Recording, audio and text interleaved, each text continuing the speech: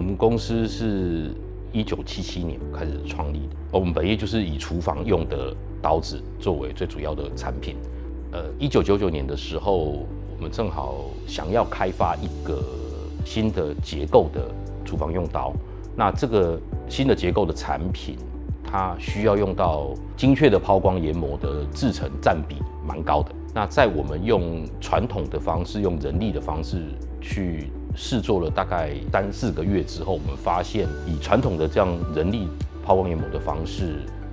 在品质上跟效率上都没有办法达到我们预期的效果。我们觉得我们应该要学习德国的工业方法来改造我们自己六血的体质，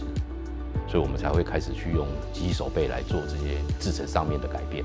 其实就我们一把刀子来讲，我们在抛光研磨的占比是相当的吃重的。我们这二十年下来，使用库卡的机器手背来帮忙我们的制成上面。一开始我们是在抛光研磨上面，我们的琢磨比较深，然后运用的这个数量也比较大。那再来就是一些刀口的抛光或是刀口的磨砺的部分，呃，我们也使用库卡的手臂来做这个刀口的抛光跟磨砺。还有刚才提到的这个刀面上面的 logo，呃，我们也是运用库卡的手臂来做。库卡我们有一个很特别的。呃，教导器，也就是说，我们在使用性上，如果即便是从来没有使用过库卡手臂的客户，可以很快的了解怎么使用我们的手臂。那在于城市的撰写上面，我们也可以提供客户在他各自的产业应用上、各自的需求上来做呃讨论跟优化。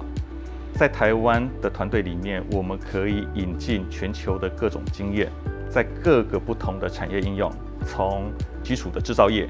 我们刚刚讲过的研磨抛光，到如果是焊接，甚至是半导体的这种高科技，我们都可以符合。所以我们的手臂也从无尘室版本到一般的版本都有，然后甚至是所谓的呃耐高温、耐污染环境的防护都有，IP 等级都非常高。库卡产品优势在市场上算比较特别，因为我们从最小的 payroll。在呃四公斤，一直到最大可以做到一千三百公斤，也就是一点三吨。在这么大的一个完整的产品线下，我们相较于呃其他的厂家是非常有竞争力的。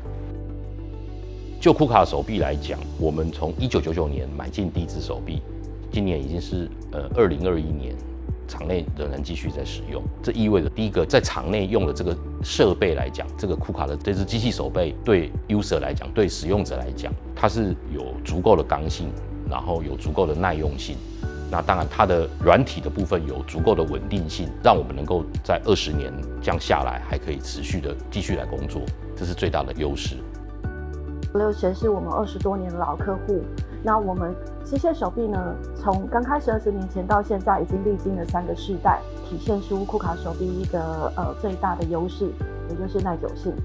那再来的话，呃，也就是在手臂编程上的一个旧世代跟新世代的这个无缝的转移，就算是使用新手臂的呃新世代的手臂，其实在客户的使用上面以及界面上面，其实也会很快的上手。所有只要是呃机器的东西。一定都需要所谓的保养跟维修。一九九九年的第一只手臂到现在还可以使用，当然这个有赖于库卡整个客服团队，不管在备用零件、软体的资源上面，给足充分的资源跟及时的资源，才能够让我们把一只手臂能够呃运用二十年。就二十年这样下来，我们跟库卡公司其实已经成为一个产业伙伴的关系。若只是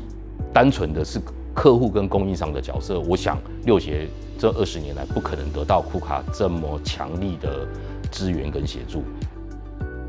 在服务上，呃，目前台湾库卡呢已经建立了北中南及时的服务体系，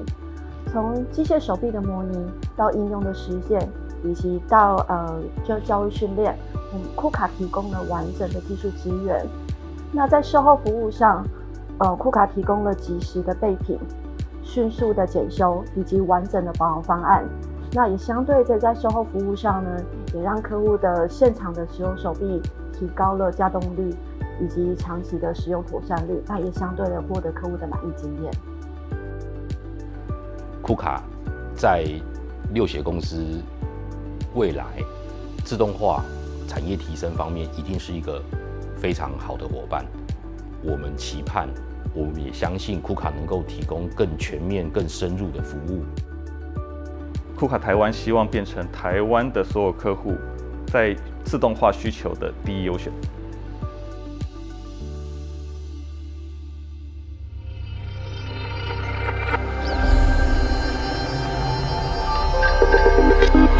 Industrial Intelligence.